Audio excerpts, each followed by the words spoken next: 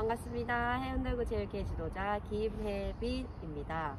자, 이번 시간부터 저와 함께 인라인에 대해 배워보도록 하겠습니다.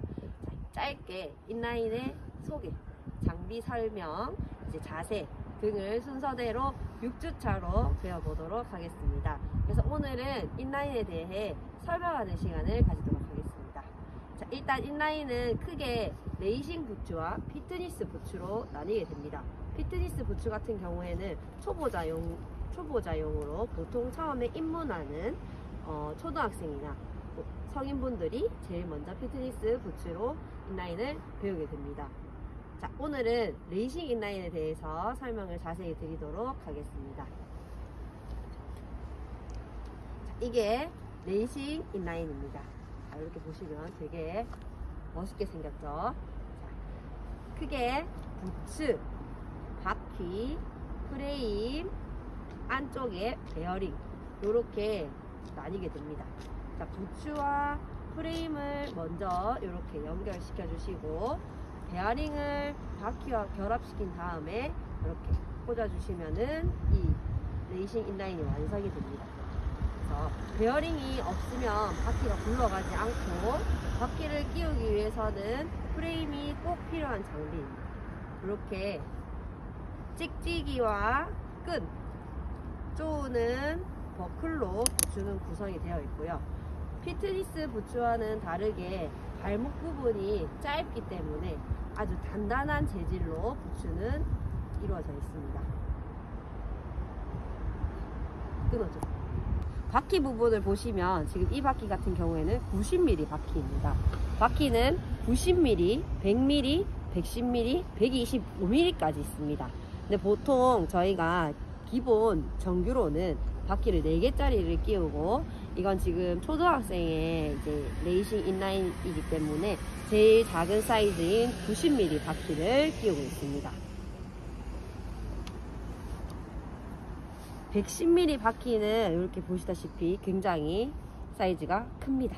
110mm는 주로 고등학생부터 이제 이용을 하게 되고 100mm 바퀴의 경우는 중학생 이 사용을 하게 됩니다.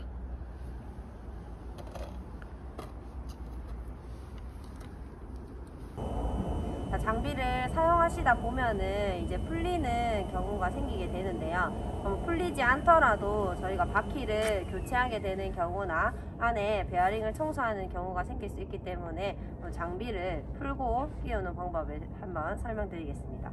여기 엑셀 부분이 있는데요. 여기 저희는 육각 렌치를 사용합니다. 이렇게 생긴 육각 렌치를 엑셀 부분에 육각형 모양에 맞춰서 끝까지 넣어주시고 왼쪽으로 돌려주시면 됩니다. 왼쪽으로 돌리면 이렇게 엑셀이 빠지게 됩니다. 엑셀이 빠지면은 바퀴를 빼고 베어링도 빼고 여기 프레임을 뭐 청소하시거나 하실 수 있습니다. 연습을 하시다 보면은 저희가 힘을 가격해서 이렇게 인라인을 타기 때문에 이 엑셀 부분이 풀릴 수도 있습니다. 그러면 엑셀을 또 쪼아줘야 되겠죠? 엑셀은 이렇게 넣어주신 다음에 오른쪽 방향으로 끝까지 돌려서 채워주시면 됩니다. 윗걸렌치 빼주시면 되고 4개의 똑같은 모양으로 있기 때문에 넣고 왼쪽으로 돌려주시고 빼고 다시 그대로 넣으신 다음에 오른쪽으로 돌려주시면 됩니다. 바퀴가 잘 구르는지 확인을 한번 해주시고 육각형 렌치를 빼주시면 됩니다. 이렇게 풀고 쪼는 방법에 대해서 설명을 한번 또 드렸습니다. 얘는 헬멧을 항상 착용해 주셔야 됩니다. 헬멧은 이렇게 생긴 것이 대부분 다 일반적으로 헬멧이 생겼습니다. 헬멧을 착용하실 때에는 끈을 양옆으로 벌려주시고 헬멧을 쓰신 다음에 여기 결합 부분을 채워주시면 됩니다. 그리고 지금 저는 보호대가 없지만 보호대, 손목 보호대와 팔꿈치 보호대, 무릎 보호대를 필히 착용하셔서 연습을 하시는 것이 안전합니다. 자, 이제 인라인을 신는 방법에 대해 설명해 드리겠습니다.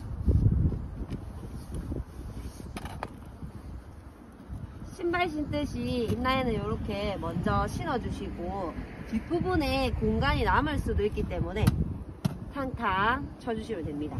그리고 혓바닥 부분을 안쪽으로 잘 말아서 예쁘게 넣어주신 다음에 밑에서부터 순서대로 끈을 당겨서 묶어줍니다.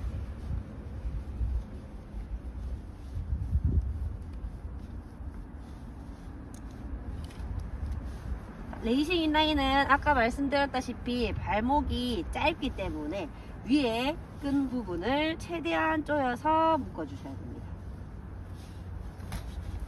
마지막은 리본으로 묶어주시고